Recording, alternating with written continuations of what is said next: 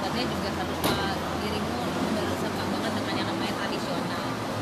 Pakai Eh, pilih sama apa gitu nah, Iya sebenarnya sih menurut aku ya karena aku merasakan hasilnya pada saat uh, Thalia jadi aku dibebet juga. Ya nggak balik sempurna cuman minimal dia kenceng gitu loh. Jadi ya aku le- lebih suka yang tradisional. Emang dan tukang pijit kan emang cocok-cocokan emang aku cocok sama tukang pijit ini. Dan Thalia juga cocok ya udah deh kita bawa aja daripada di sana nyari-nyari.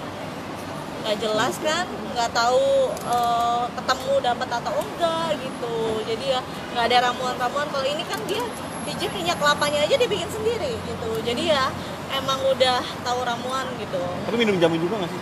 jamu juga tukang eh, ini mbok aku yang bikin semuanya. Jamu ramuan ramuan rendemnya eh, terus udah kayak gitu ramuan buat pijitnya buat nanti bebetnya semuanya dia yang bikin sendiri. Berarti masih percaya dengan yang tradisional ya sih karena merasakannya Iya karena menurut aku ya yang tradisional lebih oke lah.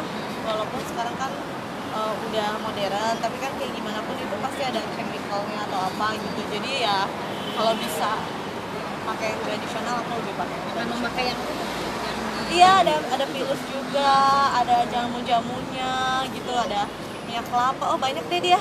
Dia aja uh, bawa aku mikirnya gini non kalau saya bawa minyak kelapa boleh gak ya? Boleh kayak bawa dia dia udah mikirnya minyak kelapanya boleh naik pesawat gak kalau minyak kelapa boleh bu. Pokoknya di di packing yang bagus aja gitu. Jadi aku udah minta tolong asisten aku juga coba lihat packingannya dia kan takutnya kan kalau di pesawat minta dia hand carry gitu. Pokoknya masuk bagasi